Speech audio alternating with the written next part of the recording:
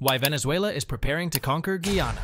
Venezuela claims two thirds of Guyana in a controversial referendum, ignoring its neighbor and all while sparking international fear of a land grab. On December 3, 2023, Venezuela held a vote about annexing Guyana's Essequibo region, a massive territory nearly the size of Florida. Guyanese weren't allowed to participate, fueling accusations of aggression. Despite doubts about voter turnout, Venezuela claims a stunning 95% approval and plans to absorb the land, creating a new Guyana Essequibo state. This audacious move threatens to escalate into a major conflict. But why is it all happening? Let's get into the complex history of the dispute, unpack the referendum's legitimacy, and explore the potential consequences of Venezuela's bold claim.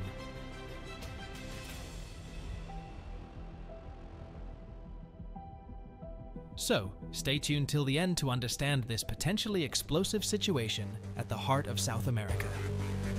On December 5th, Venezuela's leader, Nicolas Maduro, said over 10.1 million voted in the referendum and 95% wanted the takeover, creating a new state called Guyana Esba.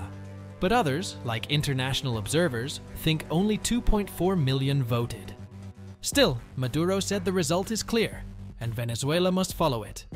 He quickly made a new map, showing the taken land to be shown everywhere in the country. And more recently, Venezuela's leader appointed a military general to govern a disputed area near Jaco.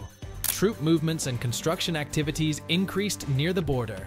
The government issued arrest warrants for opponents of the annexation referendum. The defense minister hinted at potential conflict with Guyana over the Essequibo but emphasized it's not a war for now.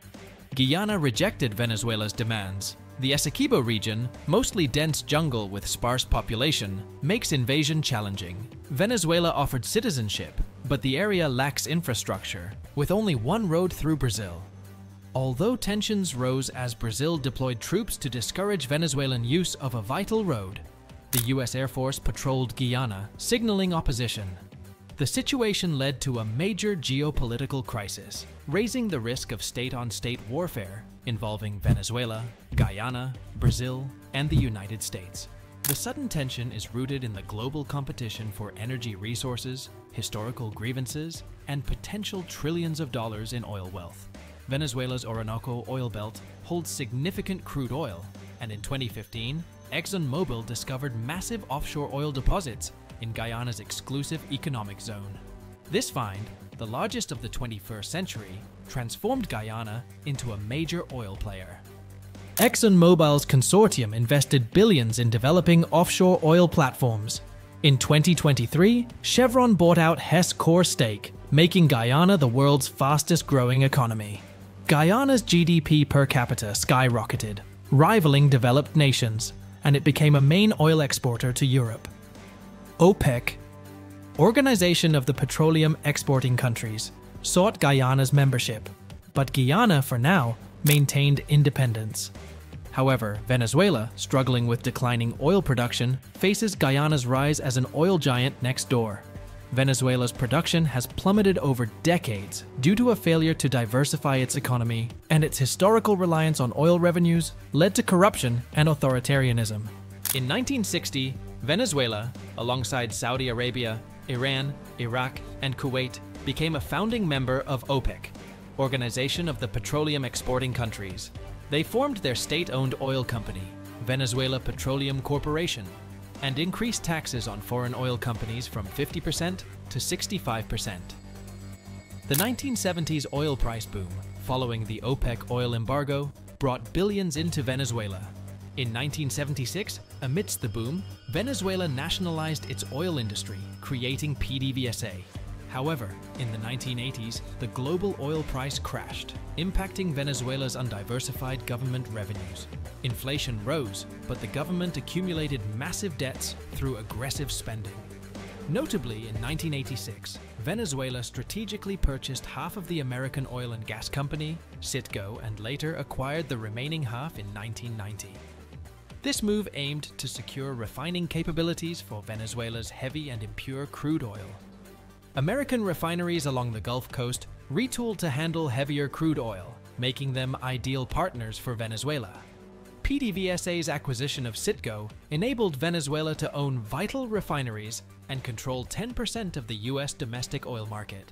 By 1997, Venezuela became America's top oil source, surpassing even Saudi Arabia.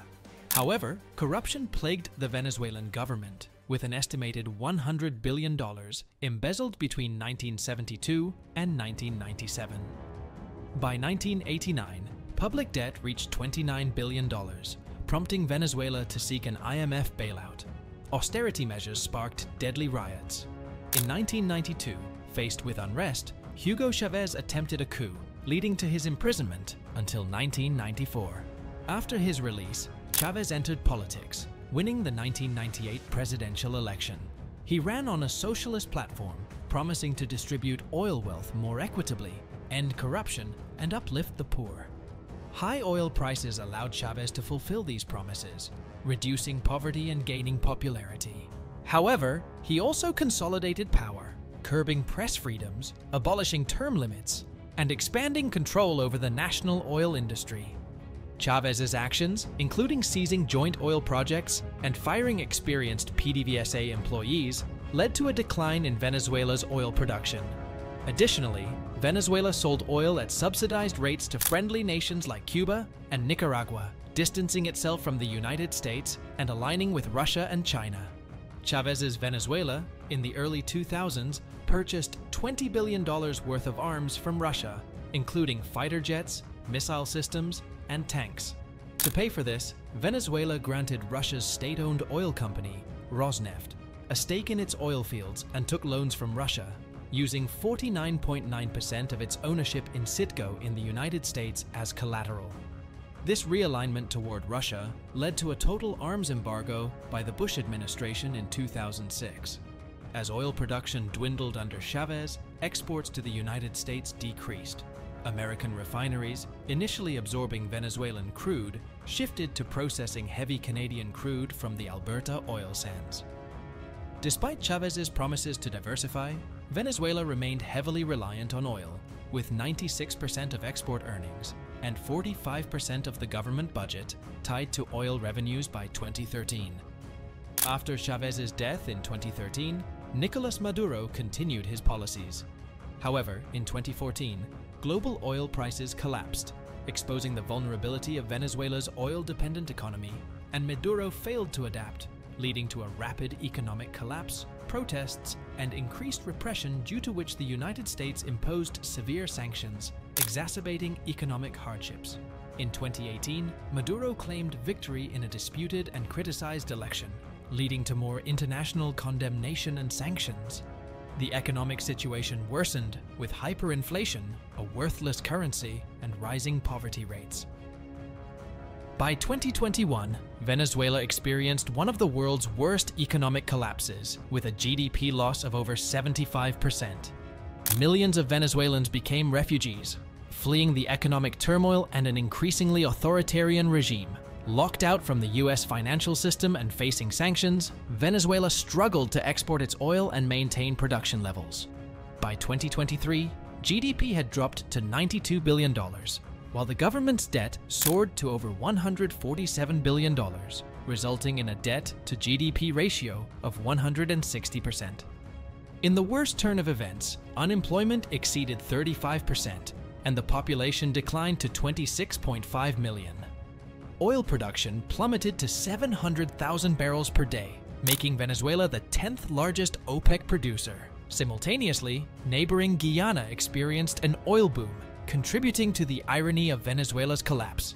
If Venezuela decides to invade the Essequibo region to enforce its claims, it could overpower Guyana due to its larger population and military forces.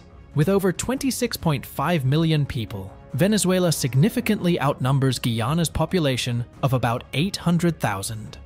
The Guyanese armed forces, consisting of around 4,000 soldiers, lack the resources to defend their 743 kilometers long border with Venezuela adequately.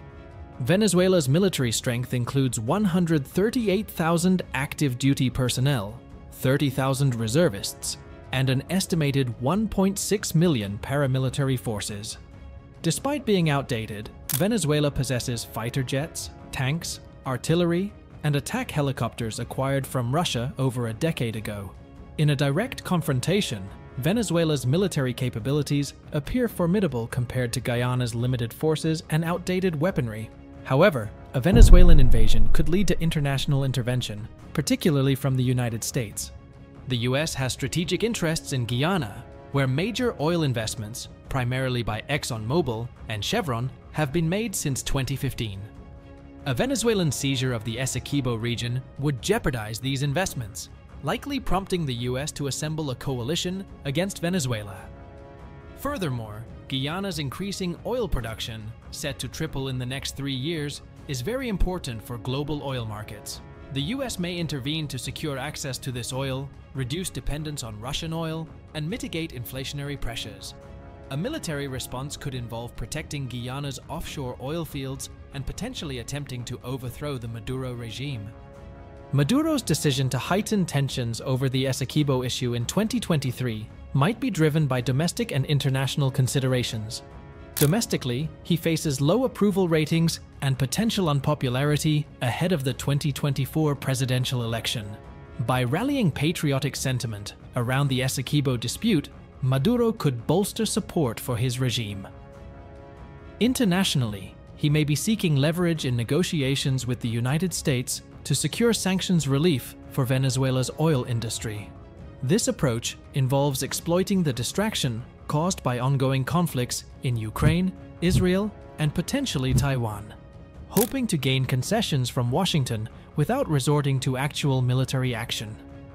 Russia might find it beneficial if Venezuela engages in the Essequibo region. This could divert the US attention from Ukraine, where support for providing arms is declining. A conflict in South America could draw American troops, creating another distraction. Disruptions in Guyana's oil production could lead to oil scarcity, benefiting Russia's oil sales and funding the Ukrainian conflict. Even if Venezuela succeeds without US intervention, concerns arise about mismanagement of Guyana's oil fields.